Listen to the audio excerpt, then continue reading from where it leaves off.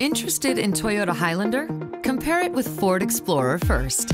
It has features you won't find on Highlander, like an available class exclusive power fold third row seat that folds flat to give you more interior room, or an available hands free foot activated liftgate that makes loading and unloading a snap.